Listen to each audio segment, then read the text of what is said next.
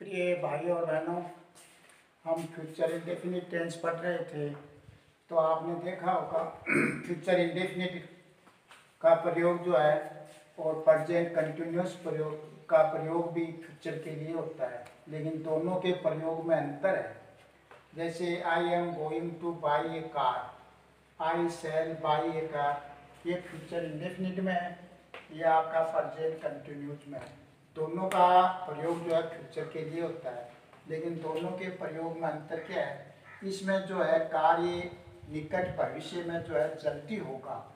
मतलब खरीदने जा रहा है मतलब जल्दी खरीदेगा। इसका उसका प्लान है भविष्य में खरीदने का। मतलब आगे चलकर कब खरीदेगा, ये निश्चित नहीं है। तो इसमें कार्य जल्दी होने की संभावना रहती है। इसमें कार्य होगा लेकिन कब होगा ये निश्चित नहीं होता। है दोनों का दोनों में ये अंतर है। जैसे he is going to Jaipur वह जयपुर जा रहा है, इसका मतलब जाने वाला ही है। और he will go to Jaipur वह जयपुर जाएगा। कब जाएगा ये पता नहीं। लेकिन है दोनों भविष्य के लिए। I am going to do homework मैं गृह कार्य कर रहा हूँ, करने जा रहा हूँ। आई सेल डू होमवर्क मैं गृह कार्य करूँगा। तो कब करेगा ये कोई निश्चित समय नहीं। अबाउट टू का प्रयोग भी भविष्य के लिए किया जाता है। जैसे गाड़ी जाने वाली है मतलब जाने वाली है तो the train is about to start. मुख्य अतिथि आने वाले हैं, the chief guest chief guest is about to come, आने वाले हैं। वर्षा आने वाली है, it is about to rain. तो ये भी भविष्य के लिए होता है।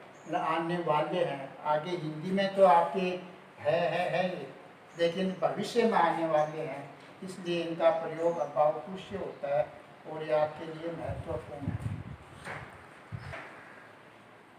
और मे कैन मस्ट का प्रयोग भी जो है, भविष्य के लिए किया जा सकता है। जैसे शायद आज वर्षा होगी, संभावना है तो इट मे रेन टूडे कि आप इसका शाब्दिक अर्थ करो तो वर्षा हो सकती है। ये मतलब होता है इसका। लेकिन आप भविष्य की तरफ़ जाएँगे तो इसका प्रयोग ये होता है, शायद आज वर्षा होगी। इसलिए ही ट्रांसलेट होती है। आज वर्षा अवश्य होगी।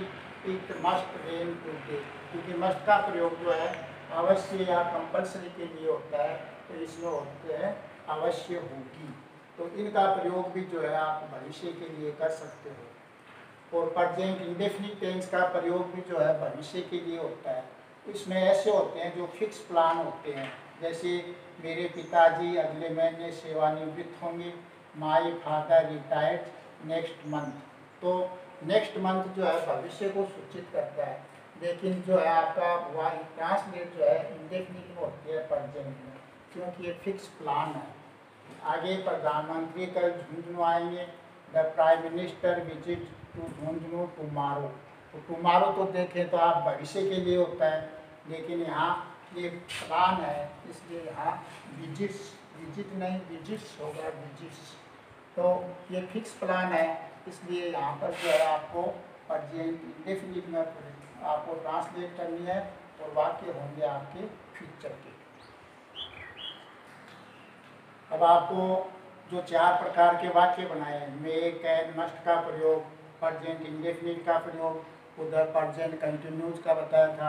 इन सभी के आपको जो है चार चार वाक्य बनाने हैं, और कोई दिक्कत हो तो आप फ़ोन पर मेरे से कॉन्टेक्ट कर सकते हैं।